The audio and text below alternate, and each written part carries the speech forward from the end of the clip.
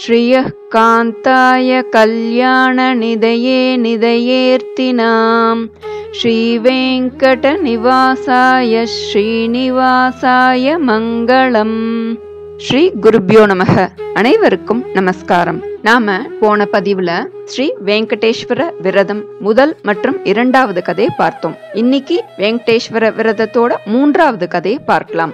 இந்த கதைய வசிஷ்ட முனிவர் அந்த வெங்கடேஸ்வர பெருமானோட அருளோடையும் ஆசையோடையும் சொல்றார். வைகுண்டத்துல உள்ள ஸ்ரீமன் நாராயணரே திருப்பதியில ஸ்ரீனிவாசரா இருக்கார். கலியுகத்துல உள்ள பக்தர்களுக்கு உதவி செய்யறதுக்காகவும் அவர்களுடைய சிரமங்களையும் குறைகளையும் போக்குறதுக்காகவும் பகவான் ஸ்ரீனிவாசனா அவதாரம் எடுத்து தன்னுடைய பக்தர்களுக்கு பக்கத்திலேயே திருமலைன்ற இடத்துல வந்து வசிக்கிற வாசம் செய்யறார் அந்த வெங்கடேஸ்வர பெருமானோடைய அருளையும் கட்டாட்சத்தையும் பெறதுக்கு இந்த விரதம் ரொம்ப எளிமையான ஒண்ணு. பக்தியோடையும் ஸ்ரத்தையோடையும் யார் ஒருத்தர் இந்த விரதத்தை செஞ்சாலும் அந்த பக்தருக்கு எல்லா விதமான செல்வம் மகிழ்ச்சி எல்லாமே தானே வந்து சேரும் அப்படின்னு இந்த விரத கல்பத்துல சொல்லப்பட்டிருக்கு. அவந்தி தேசம்னு ஒரு தேசம். அங்க பாக்ய நகர்ன்ற ஒரு நகரம் இருந்தது. அந்த ஊர்ல பேருக்கு ஏத்தாப்படியே செல்வ செழிப்போட இருந்தது. அந்த மக்கள் எல்லாரும் பணக்காரர்களா இருந்தா. பணம் இருந்தா சில இடத்துல குணம் குறைய வாய்ப்பு இருக்கு இல்லையா? அதே போலதான் இங்க செல்வம் வந்தோன்னு ஏழைகள் எல்லாம் கேவலமா எல்லாரும் பாக்குறா. தாங்கள் தான் செல்வ செழிப்போட இருக்கோம். ரொம்ப பெரிய பணக்காரா அப்படின்ற ஒரு பெருமிதம் பகட்டு எல்லாமே அவர்களுக்குள்ளேயும் இருந்தது. அதனால தங்களுடைய தினந்தோறும் செய்யக்கூடிய அன்றாட பணிகள் அப்புறம் பூஜை புனஸ்காரம் எதையுமே அவ சரிவர செய்யறதில்ல. ஏன்னா அதுக்கு காரணம் எல்லாமே அவ செல்வ செழிப்போட இருந்ததுனால தங்கள்கிட்ட நிறைய பணம் இருக்கு அப்படின்ற எண்ணம் மமதை கர்வம் எல்லாமே அவ கூட இருந்தது அந்த மக்கள் கிட்டக்க நித்தியப்படி பூஜைகளை கூட அவ சரிவர செய்யறதில்ல. மங்களகரமான நாட்கள்ல கூட பிரார்த்தனைகள் எதுவுமே பூஜைகள் எதுவுமே அவ சரிவர செய்யறதில்ல. அதனால பகவான் என்ன பண்ணார்? இந்த பணக்காரர்களுக்கு பாடம் புகட்டணும் அப்படின்னு நினைச்சார் ஸ்ரீமன் நாராயணன். ஒரு ஏகாதசி நாள் தோழி ஏகாதசின்னு அந்த ஏகாதசி பேரு.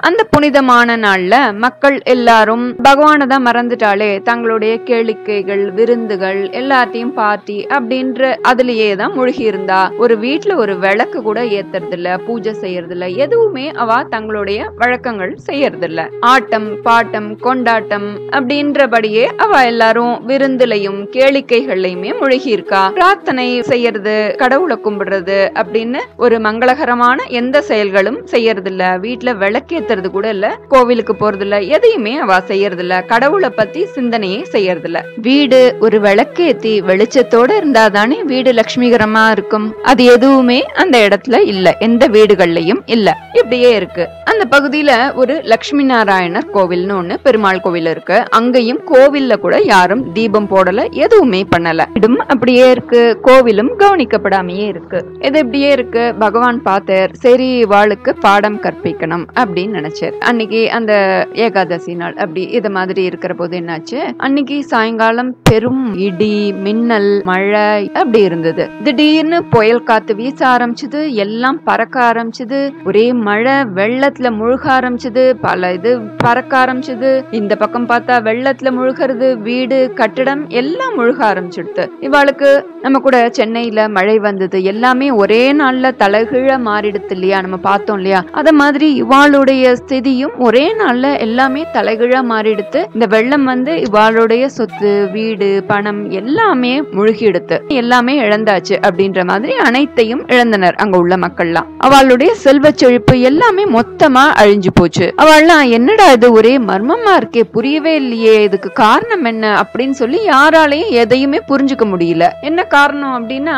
அதுக்கு இன்னொரு சைடு பேரலா அந்த பக்கமும் இருக்கு. அங்கெல்லாம் சின்ன வீடுகள் தான் இருக்கு. இவாள்லாம் நல்லா கான்கிரீட் ஸ்ட்ராங்கான வீடுகளா இருக்கு. இதெல்லாம் வெள்ளத்துல முழுகி பாழடைஞ்ச எல்லாம் போயிடுத்து. என்ன பண்ணுறது அவளுக்கு அடுத்த வேலைக்கு அப்படின்றதே தெரியாம. ஆனா அதே அந்த பக்கம் உள்ள சின்ன வீடுகள்லாம் நல்லா இருக்கு. எந்த ஒரு இதுவுமே ஆகல. அந்த புயல்ல அந்த பக்கம் எதுவுமே அந்த வீடுகளுக்கு ஆகல. அப்படின்றத பார்த்து அவளுக்கு ரொம்ப ஆச்சரியமா இருந்தது. அந்த குடிசைகள்லாம் பத்திரமா இருக்கே. அதுக்கு காரணம் என்ன? இங்க நம்ம வீடெல்லாம் இதெல்லாம் ஸ்ட்ராங்கா இருந்தே இதெல்லாம் உடைஞ்சு போனதுக்கு காரணம் என்ன? முழுகிறதுக்கு இப்படி அப்படின்னு சொல்லி ரொம்ப ஆச்சரியமா இருக்கு இவாளுக்கெல்லாம். அப்போ அங்க மேலேந்து ஒரு அசரீரி கேக்குறது. முட்டாள்களா நீங்கெல்லாம் அப்படின்னு சொல்லி அந்த அசரீரியில இருந்து கேக்குறது. உங்களுடைய இந்த த- நிலைமைக்கு காரணம் என்ன? நீங்க செல்வம் அப்படின்னு நினைச்சு செல்வ செழிப்பா இருக்கேள் அப்படின்னு நினைச்சு பகட்டோடையும் கர்வத்தோடையும் மமதையோடையும் இருந்து ஒரு பகவானுக்கு ஒரு விளக்கு கூட ஏத்தாம எதையுமே செய்யாம ஒரு இறை சிந்தனை இல்லாம எந்த ஒரு இதையுமே ஈடுபடாம நல்ல மங்களகாரியங்கள் சுபகாரியங்கள் எதுவுமே செய்யாம இப்படி கேளிக்கைகளையும் கூத்தடிச்சுட்டு இருக்கிறதுனாலதான் உங்களுக்கு தெய்வ நிந்தனை தெய்வ குத்தம் ஏற்பட்டது அப்படின்னு சொல்லி மேலேந்து ஒரு அசரீரி கேக்குறது. அதனாலதான் உங்களுக்கு இப்படி ஆச்சு அப்படின்னு சொல்லி கேக்குறது. அங்க போய் பாருங்க அந்த பக்கம் மழையில நனையலன்னு சொல்றீங்களே அந்த குடிசையில தேவையான்னு ஒருத்தர் ஏழை தான் அவர் வசிக்கிறார் பாருங்கோ. அவர் என்னுடைய பக்தர். அவர் ரொம்ப ஏழ்மையானவர் தான். ஆனா அந்த கோவில்ல போய் டெய்லி விளக்கு போடுறார் விளக்கு விளக்கேத்துறார் ஏகாதசி நாள்ல என்ன நினைச்சு விரதம் இருக்கார். அவர் பெருசா எதுவும் செய்யலைன்னாலும் டெய்லி விளக்கேத்துறார். ஏதோ தன்னால முடிஞ்ச ரெண்டு பூவை போடுறார். என்ன நினைச்சு பிரார்த்தனை பண்றார். ஏகாதசி அன்னைக்கு விரதம் இருக்கார். எல்லாம் பண்றார். அந்த விரதத்தோட பலன் அவருக்கு மட்டும் இல்ல அவரை சுத்தி இருக்கக்கூடிய அந்த குடிசைகள்ல வசிக்கிற அத்தனை பேருமே காப்பாற்றப்பட்டிருக்கா. அந்த ஏரியால உள்ள அத்தனை பேருமே வசிக்கிறவா எல்லாருக்குமே நன்மை நடந்திருக்கு அப்படின்னு சொல்லி அந்த அசரீரியில இருந்து கேக்குறது. நம்மள்ட்ட என்னதான் செல்வம் பணம் கோடி கோடியா நிறைய இருந்தாலும் நம்மளுடைய நித்திய கடமைகளை நம்ம சரிவர செய்யணும். பக்தியும் இறை சிந்தனையும் ஒத்தொத்தையும் இருக்கணும். அதுதான் நமக்கு இனிமையானது ஒரு வாழ்க்கைய கொடுக்கும். நம்ம வாழ்க்கையும் மங்களகரமா இருக்கும் செல்வ செழிப்போட இருக்கும் அப்படின்னு சொல்லி சொல்றார். நீங்க எல்லாரும் அந்த விரதத்தை செஞ்சா உங்களுக்கும் அந்த செல்வ செழிப்பு திரும்ப கிடைக்கும் அப்படின்னு சொல்லி அந்த விரதத்தை பத்தி அவளுக்கு எடுத்து சொல்றார். மக்கள் எல்லாரும் தங்களுடைய தவற உணர்றா அந்த கோவிலுக்கு ஓடி போறா பகவான்கிட்ட பிரார்த்தனை பண்றா. எல்லோரும் பக்தியோடையும் ஸ்ரத்தையோடையும் பக்தி பாடல்களும் ஸ்தோத்திரங்களும் சொல்லி அந்த விரதத்தை ஸ்ரத்தையோடு இருக்கிறா செய்யறா. அவளுக்கும் அவளுடைய பொருட்கள் வீடுகள் எல்லாம் பழையபடி பாதுகாப்பா திரும்ப கிடைச்சிடுறது. அப்போலேந்து அவ ஒவ்வொரு ஏகாதசி தினத்திலையும் இந்த விரதத்தை அனுசரிச்சு செய்யறா. அவர்கள் தங்களோட வாழ்நாள் முழுவதும் மகிழ்ச்சியோடையும் அமைதியோடையும் செல்வ செழிப்போடையும் வாழ்ந்து இறுதியில மோட்சத்தை அடையறா. இதுதான் இந்த வெங்கடேஸ்வர விரதத்தோட மூன்றாவது கதை. நாமும் அந்த ஸ்ரீமன் நாராயணனையும் வெங்கடேச பெருமானையும் நினைச்சு ஏதோ ஒரு தினத்திலேயோ சனிக்கிழமைகள்லயோ இல்ல ஏகாதசி தினங்கள்லயோ விரதம் இருந்து அந்த பகவான ஸ்ரீமன் நாராயணனை பிரார்த்திப்போம். இந்த விரதம் ரொம்ப எளிமையானது.